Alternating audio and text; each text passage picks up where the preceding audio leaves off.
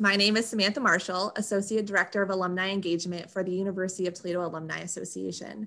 Welcome and thank you for joining us for a lively conversation with U Toledo alumnus Juan Montoya, where we will hear about his time at the University of Toledo and his many accolades since his time here at the university. I would like to share a few housekeeping notes for today's virtual experience. The following recording took place on April 8th, 2021, and will not only highlight Juan's career, but also give us an opportunity to hear how the University of Toledo impacted his life. Please join us for a live Q&A session following the release of this recording to meet fellow UT alumni and ask questions regarding the content you just viewed. It is now my pleasure to introduce to you today's moderator, Dr. Michael Boyd, Steinway artist and U Toledo professor of music. Welcome, Dr. Boyd. Thank you. Hello, I'd like to welcome all the UT alumni and friends who are watching this conversation with UT alumnus Juan Montoya. And Juan, thank you for joining us uh, from the other side of the globe this morning. Yes, hello everybody. I'm literally in the other side of the globe, and it's a pleasure for me to be here with you and with everybody else. Yeah, it's, it's so good to see you again. Before we um, start our questions and, and uh, about your what's been going on with you in your life, I thought maybe I'd just give a little bit of background and we'll fill in things as kind of we go along. So in um, uh, Juan graduated from the University of Toledo from the music department um, at that time at the College of Arts and Sciences. This was in 2009. Um, he had a mass, he has a master's degree in both piano performance and orchestral conducting. So that kind of sets him apart from a lot of uh, other master's students, the fact that he was getting this double degree. Uh, apart from frequent international engagements, he's been the resident conductor of the Kuala Lumpur City Opera in Malaysia since 2014 and the director of orchestral studies at the university in Malaysia. So a uh, lot to kind of talk about to about about your life, but uh, it's always interesting to see how people get started. And and looking at your bio, one of the things I saw was some of your earliest musical studies were with your father, and that doesn't happen a lot. So why don't you tell us a little bit about that? Yes, I think I am glad, I am happy, and I am lucky enough to have had that opportunity. My, my father is actually a, a popular musician, so he's not classically trained, but he is a musician. I mean, he dedicates his life to music. So I grew up with music all over the house, all the time, with musical instruments, with people playing, with people performing. So I myself, in my early days when I was very small, used to play the piano and sing and do a lot of stuff. So music was always in my house. Uh, we can also say my mom is not a musician, but she's very in tune. We could say, so that's that's a good thing. So yeah, everything started from from the family, from the family, we could say how was that working with your your father? Sometimes that can be you know within a family situation. Besides you know your your studies you've also got the personal relationships and things like that. I mean did the two of you get along whenever you whenever you were like working with him on your musical studies? I think yes and no. I think you you are you are hitting an interesting point there because I, I think it happens always relationship between like father and son. Like sometimes there are clashes, sometimes there are conflicts. And I actually, one of the pieces I composed during my stay in the University of Toledo that was actually recorded by, by the National Symphony Orchestra, it's called Baba, which means father. Mm-hmm. I actually dedicated this piece to him, kind of like, like you know what? I know we have been having so many misunderstandings along the way, but here is my music, which is also his music. I mean, like we, we come from there. As I told you and all my professors, like we, we stand in the shoulders of all of you, no matter like what are we doing right now and how good we are doing. So that starts from your parents and then move to your teachers like you and others. And, and yeah, so we always have to be grateful and recognize that, that we are not here by ourselves. That's a, an interesting aspect of um, uh, your, your studies. Now, I know how it was that you came. We were lucky enough to have you as a student at the University of Toledo, but why don't you tell everyone else kind of how you wound up in Toledo from Colombia? yeah, the connection I think comes from another relationship you had with another colleague, Liz Frank. Yes. So probably later you tell us like how you guys were, how you knew each other. But she was my teacher. Uh, she's a North American teacher, and she was living in Colombia. So she was my piano teacher there, and she's the one who encouraged me to go to Chautauqua Institute in 2003 that's i will remember that year because i mean that summer was one of the best summers in my life i think so first time going out of the country in this way of, of colombia and uh, i had the opportunity to study with uh, several teachers actually dr milbauer john milbauer who was also there who also became another mentor and colleague in the university of arizona doing my doctorate so all those connections and I had the luck that you were teaching there. We met there. We had lessons. We talked about the future. I by then I was I didn't graduated yet from my bachelor, so of course you said like yeah keep studying and once you finished uh, give me a call let me know send me an email so that's what i did and thank you for accepting me because i think that was a good step for whatever is happening in my life so i joined UT in 2006. It's interesting how, um, you know, our, our careers and people we know kind of intersect at a lot of different points. And we'll talk about later on how, you know, you wound up making the transition to Malaysia. But yes, Lisa Frank, I had, uh, I was lucky enough to go to the North Carolina School of the Arts for high school. She's one of my 1st uh-huh. friends there, and we kept in contact. And then she wound up being in Colombia, and then she wound up teaching you, and that's how this all happened. And so it's, it's so really nice. That's how amazing it is. You guys met from high school. Yeah. And then everything connects. Yeah. Now, at, whenever you were at UT, you know, you and I, of course, worked on piano, but you had a lot of other faculty that you worked with. So, can you tell us a little bit about your experiences in the music department? Yes, uh, I of course had uh, piano lessons with you, which were amazing. I did two two years with you, right. and I think my other main professors there were uh, Dr. Jason Stumbo and Rico McNeela. Mr. Yes. Rico McNeela, he was uh, conducting the orchestra back then. I don't think he is there anymore, but I think uh, we could say like the three of you in the performance side really shaped my my career as a performer.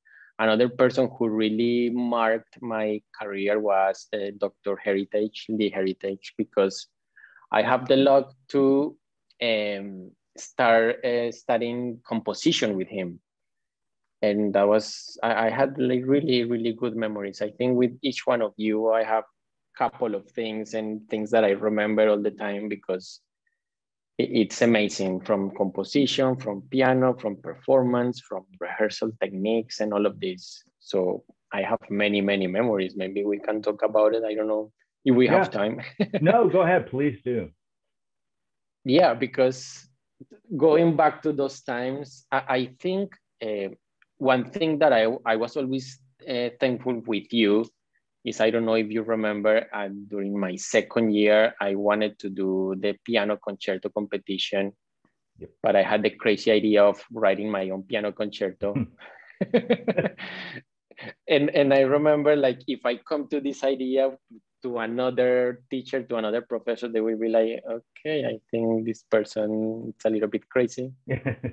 and, but I, I will always remember that you were always like, go ahead. I mean, start writing it, show it to me. And and you got so excited about it that you actually played the piano with me during the competition if you remember. Oh yeah. You were my second you were my second piano. So that was for me that was an amazing experience. Not only the support not only the positive input from the very beginning because again like if you come with idea of you know what for this concerto competition this year i want to write my own concerto. That's that's not common. Right. And and and you made it happen and you supported me and you gave me advice on the piano thing too, not only on how to perform it, but on the writing. So that was very good. I remember uh, with uh, Mr. Rico McNeela, the I learned a lot about orchestra. I learned a lot about strings because he's a string player. He was the conductor of the orchestra back then, but he's a violin player. So that was very good because I'm not a violin player and I didn't have idea of violin or, or yes, but like minimal. So when you have a teacher that is actually a really good violin player, so you really learn things and, and, and stuff that can help you during rehearsals.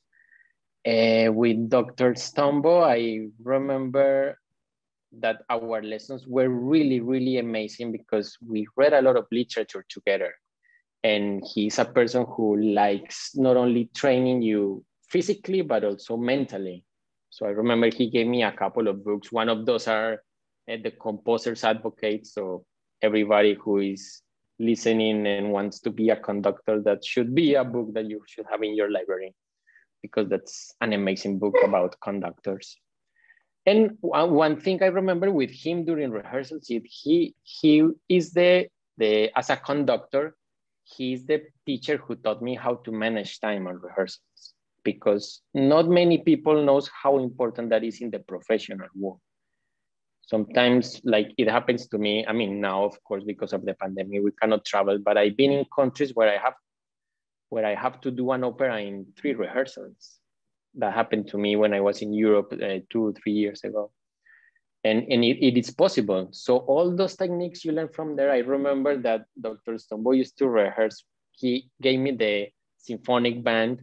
He was with a stopwatch. Okay, whatever you have to say, I give you seven seconds. And I was, blah, blah, blah, and then uh, he, used to, he used to do the noise like, uh, too much because I used to talk too much. Like I'm talking right now, but in front of in front of the people and that's not good. You know when people goes to a rehearsal they don't want to hear the conductor blah blah blah blah blah they just want to hear stop this this this let's keep going this this, this let's keep going. So i think from that side that was one thing that i'm still applying right now. And now it became automatic but for a while it was like a stopwatch in my head. Like i always remember him. And i think from dr heritage uh, the composition side because he's a very patient person. He's a very his knowledge is very vast and and I remember I, I had a, a nice anecdote with him when I was composing this piece. Remember, we talked at the beginning, this Baba piece that I dedicated to my dad. To this piece is kind of dedicated not only to my dad, but to these father figures, because I think we always have conflicts with the fathers. Like with the mothers we are always like closer and like more huggable and mm-hmm. the love is easier to show and to and to receive. With fathers the the situation is a little bit different and we share music. So even sharing music like the situation was a little bit difficult. And i remember i was working on this piece and i, wrote I wrote the section A to put it in some way. This piece is like ABA. And then I remember I wrote section B and I won't forget that when I wrote section B, Dr. Heritage, he literally told me like, this is, this is not you. This is, this is not you and this is not this piece. Like the best thing you can do is throw that page, try it again. And, and that's one of those moments that that's one of those lessons that you understand that sometimes restarting is good because I could have said like, oh no, let me fix it. Oh no, let me edit it. But he was like, this is not you and this doesn't belong to this page. Just throw this page, try it again in section B. I did, and then the piece was very successful. And as I mentioned, it got selected to be recorded by the National Symphony of Colombia. Yes. So beautiful, beautiful. So all of these experiences, I think, are the ones that build you that I was telling you that you stand on the shoulders of all of you. Mm. And I'm sure I have more, but I mean, these are the ones that are, these are my highlights. Yeah. right. Yeah. Well, I think that, that that's great because you have had so many um, different skills sets. I mean, you learn different things from conducting. You learn different things from learning how to perform on the piano, and you learn different things from compositions, and that and that has kind of, I think, helped formulate who you are now, and I think it plays a lot into you, all, you, all the success that you've had. Now, on on a more general note, no, do you have any fond memories of just Toledo in in general whenever you were here?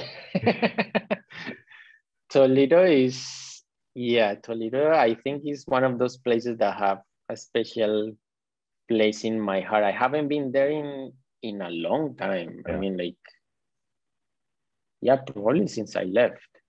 Probably since I mm. left. So I remember that I kind of witnessed a little bit of the transformation of Toledo because when I arrived in Toledo, it was right in the deepest side of the economic crisis. Yeah and and I still remember that that it was kind of like a gloomy place. And towards the end, when I was leaving, the place was building up again. So that one that was one thing. Talking as a city, yeah. Oh, not as a university, but as a city, that was a nice thing to see how the city got together and the economy got better and things started to get recovering slowly.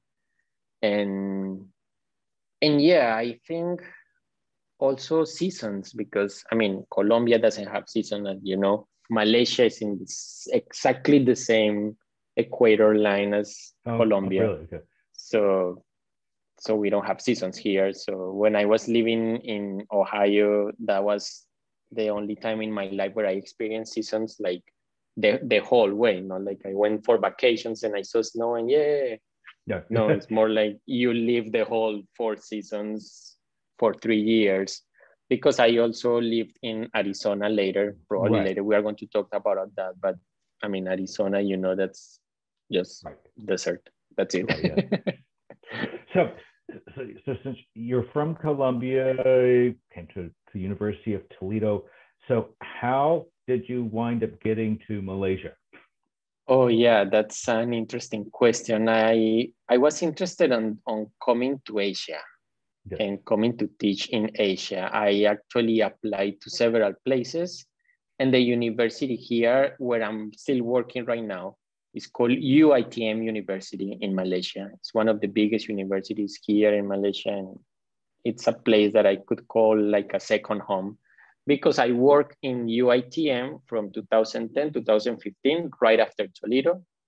Then I left for five years for my doctorate and for performances and now i'm back here again so so we could say that uitm university here is kind of like a second home uh, i was lucky enough that they, when i was looking to for a place in asia i applied to several places i have some uh, i knew some people who was working in the university in another department they helped me connect with the faculty of music uh, the Faculty of Music got interested on my CV, on my career, and then I started working there in 2010. Yeah. It, it's always interesting to see kind of from from where we start, where we wind up, you know, yeah. where, where, where they take us. I mean, I've always felt very lucky, um, you know, to have been uh, at the University of Toledo. So uh, speaking of Colombia, uh, you have a very special award from the government there. Can you tell us a little bit about that? Yes, that was very nice. That was in 2019. I got a, a how do you call that in English? Let me try to translate it. It's like a, it's like an order of merit, like a medal of, we cannot medal of honor. No, that sounds too like military, like like a medal of merit or something like that. Yeah, it's a it's an, an award from the city council. It's like, for example, if Toledo gives me an award, so the city where I'm from is Medellin in Colombia. So it's an award from the city council of Medellin, which recognizes uh, careers from different people, not only artists. You could be a painter, you could be a politician, you could be a writer, just person, just people who have been doing like good things for society. So that was a big honor for me. Uh, I got it in the silver category, and it may be later if somebody's interested, you can check my website. I, my speech acceptance is there. Oh, right. So, so it was a very nice award and they just give a few of those every year. So mm-hmm. I was lucky enough for 2019, August 2019. Yeah, yeah. That's always nice to be kind of recognized from, you know, where where you grew up and, and, and where you're from. But uh, with speaking of like where you are currently, you also have like some recognition. Like in Malaysia, you got the best music director in 2019, an award there. Yeah, in 2019, because uh, we could say Malaysia has some art awards that are very prestigious here. So these art awards are for performing arts, theater, dance, music. Uh, yeah, mostly that, like theater, art, music. Mm. And I was, I was no, we were nominated because this was with the Kuala Lumpur City Opera. Yeah. So we were nominated for our opera uh, Madama Butterfly. Great. So we actually got a couple of nominations, if I'm not mistaken. Uh, I think we got leading role, which was our Butterfly, mm. uh, Cecilia Yap, amazing soprano. Mm. We also got, I think, lighting design, sound design, and uh, best music director nomination with mm. other productions and other things in Malaysia. And if I'm not mistaken, we managed to get two of those prizes, music director and another one, which I'm not remembering clearly right now. So that was a big success because that recognized the, the career we are trying to build with the Kuala Lumpur City Opera. It's a very young company. They started two years before I joined them. I joined them in 2014. Mm. They started at, uh, in 2012 and I've been the director there uh, since 2014. So nonstop. Even when I left for those five years, Malaysia, I kept coming back here. Like three, four months of the year, I was here in Malaysia conducting. Okay. So, so yeah, that was a good award for us as a company, not only for me individually, but for us because that recognizes the the work we are doing. We are the only opera company in Malaysia in the country and we always try to use and encourage local musicians mm. and Malaysian singers. Mm. So, so that's also good because it's all local talent. So that's amazing. Yes, that, that's a very nice piece of recognition, I think, for for for you, and also just it, speaks about the work that you're doing there.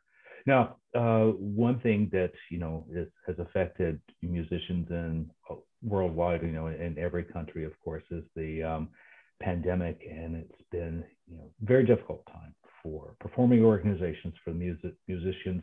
Can you talk a little bit about what has been going on in Malaysia and how it's affected what your work there? Yeah, I think, as you said, this is a complete global situation. Nobody escaped from it. I mean, unless you are in New Zealand, but apart from that, I think every every single country in the planet is having a hard time.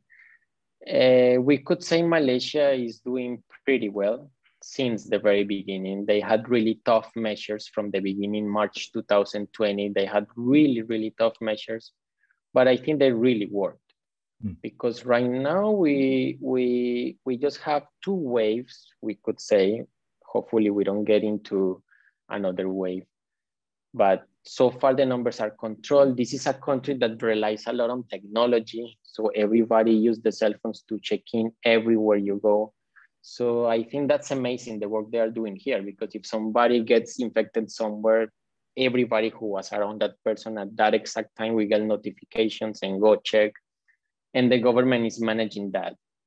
Uh, masks are mandatory. So that also helps. I mean, you have to wear it, no choice. So, I mean, or you have a choice, you have to pay like, I don't know, 5,000 US dollars if you are not wearing a mask. Oh, wow. So, so, and, and I think it, it, it's good, it works. Like if you see our numbers compared to other countries, mm-hmm. I mean, I think talking about Malaysia, right. I don't know, we are like 50 something in the list or something, which is yeah. pretty good in this situation. And regarding the arts, the arts are struggling a bit. The government is helping a little bit, but it's a struggle that everybody in the world is, is experiencing. What happened with the opera company is that we planned 2020. Of course, 2020 couldn't happen. And we started delaying, delaying, delaying, delaying until it came to a point that we were like, you know what? I, we, I don't think 2020 is going to happen. so, so we kind of like move 2020 to 20 eh, to 2021. Uh, 2021 is a little bit better. Uh, I'm going to have, for example, I'm going to have an activity next week, Tuesday the 13th. But I mean, this is a recorded program, so right. don't don't get confused, people. so so next week from this recording, uh, I'm going to we are going to perform La Voix Humaine, uh, Poulenc, uh, first week, uh, yeah, 8th and 9th of May. So you see, slowly things are building up. The government is allowing people and the theaters just 50%, which we have to take and we have to use it. And I think people are really eager to go back to music, go back to theater. Cinemas are open again since a few weeks ago. So slowly the arts are recovering. Again, this is a very weird virus because it goes in the air. So it could get bad again. I think the only solution is like a vaccine for everybody. So we are in the process of that here too. I think the US is going really well with the vaccination. I mean, the speed there is amazing. So that's great. Here is happening in a slower rate. So, mm. So yeah, so far what we are trying to do, for example, at the opera, at the Kuala Lumpur City Opera, is just planning for the best because I think that's what you should do Yes. not thinking like, oh, this is so sad, or this is not working, no, I'm going to give up. No, like plan for the best, but know that may not happen. Right. So we plan for the best uh, with the producers of the opera, uh, Danny and Sun Yun. They both are like great people, and we all we all three are like positive people. So we are like, okay, let's do it. And then the, maybe the government, like what happened in 2020, the government said like, sorry, no. So we're like, okay, no, but let's plan this sorry, no, sorry, no. And then when things can happen, we make it happen. Yeah. With the university, we are still teaching at UITM University, we are teaching virtually. I think most of the universities around the world are doing it that way. So that's a little bit easier. It's not ideal because I honestly like teaching face to face, but but for now, I think that that should be enough for now, like just to keep us all safe while we all get better. Right. I, I think it's um, we've uh, all become very creative with with this. And, oh yeah. and, and how to you know keep ourselves going, to keep our students going, to you know figure out what to do with audience engagement too, so as we don't lose you know audience. Exactly. Yeah.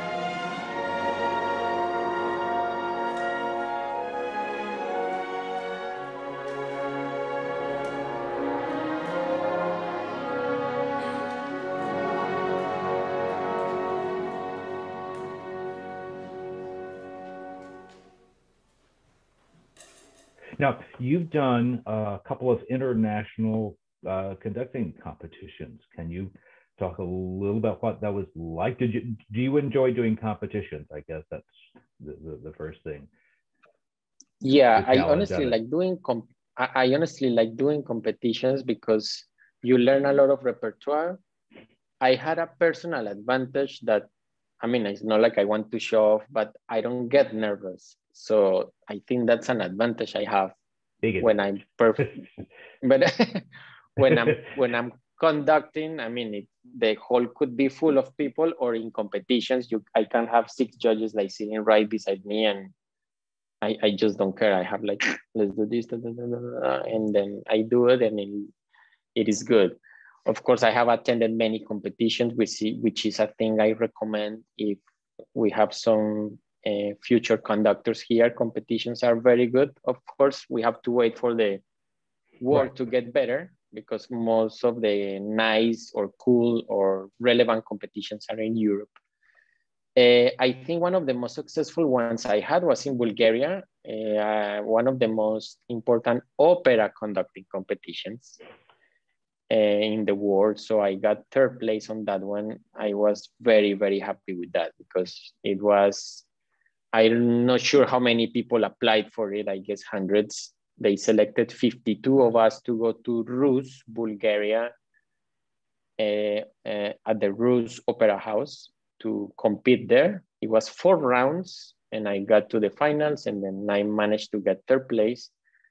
And the good news is like I got the third place and all the ju- the jury prizes. So so that was good because yeah. the jury prizes were, were concerts so that's why i went to that's why i went for example to to the cairo opera in egypt. That was pretty good to go there. That was pretty nice to go there. And other places. So i think that was a nice competition and and yeah very nice experience. I recommend everybody to do it because it's it's nice yeah.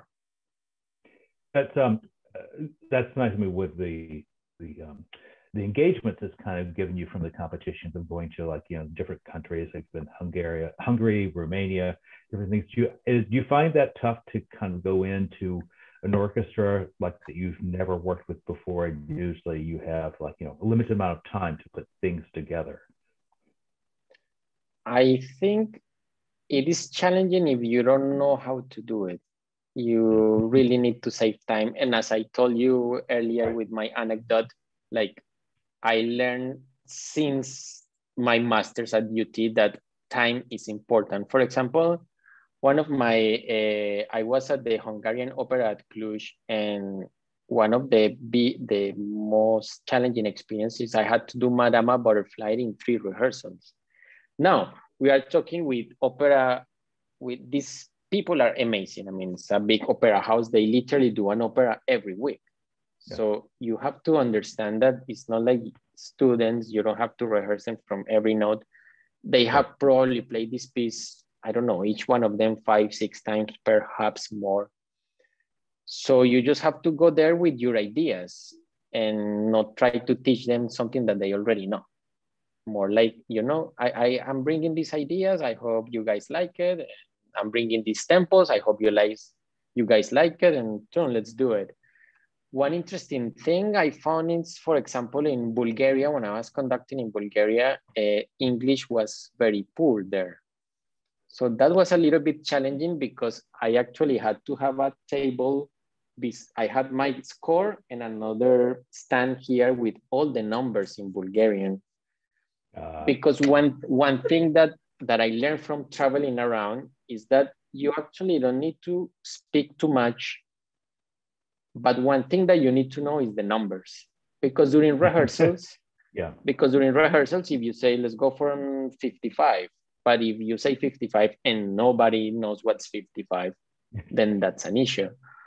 So that's one thing I, I learned traveling that if I go to a country where I know English is not the main language or something, or or if the, the thing is like I wrote that and actually it worked. Like I had all the numbers and actually I knew what numbers, what rehearsal numbers could be an issue. So I will be like, for example, Madama Butterfly 55. I'm just giving an example. So I wrote on top of 55, how to say 55 in Bulgarian. And that's very easy. You just go on Google and push Google and Google will tell you how to say it. And it worked.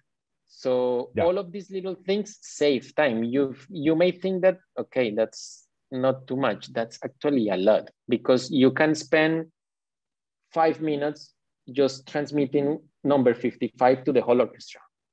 Right. So so rehearsal numbers are important. Apart from that, uh, Italian is the language of the of the music. A lot of people in around the world and in Europe they speak Italian almost fluently. I had the chance to learn Italian too. I live in Italy a little bit. I actually went to Italy just to learn Italian. So that's an that's another tool I have under my sleeve. We could say that if I get yeah. in trouble, I can turn into Italian. And when you're do when you're doing opera, I, I could say that like 90% of the singers they you can communicate with them in Italian. So so that's also good, yeah.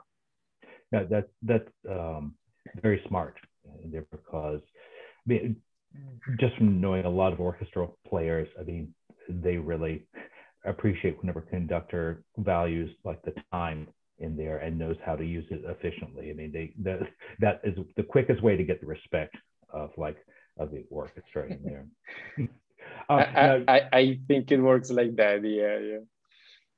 Um, so to kind of maybe uh, finish up a little bit earlier, you had said that you recommended competitions for like people who are just kind of coming up and, and, and, to kind of like further their careers. What advice would you have for like young musicians in the in the current world, let's say past pandemic, when we're weak, things get back to normal? What what advice would you have? Uh, there, there is there, there are many many things I could say, but I think first of all, we are not living in normal times. I don't right. think anybody who is alive right now have experienced a pandemic of this size. So we have to start from a point that we are living in unprecedented times and do, do not get too scared because people needs music, even if right now doesn't music doesn't feel like the priority eh, government wise, economic wise, or whichever way you think. My advice is do not give up because because when you give up, you are just giving space to the people who are not going to give up. And music, music is something that you keep pushing, you keep pushing. You you are going to feel down many times in your life.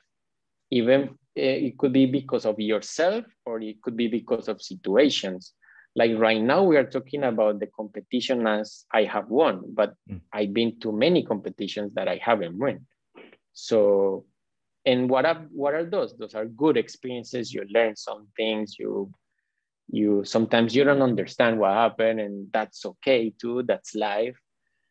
So my advice is uh, uh, music is a little bit challenging not only in the technique, not only in how you create music, but how you treat yourself and how you think. And if you have a goal, keep following it because that, that's the only way you're going to reach the goal. I mean, some people say like, no, I, I don't know if I'm going to reach that goal, but, and then they give up. But what if you reach it? I mean, what, what, what if that thing that you dream happens?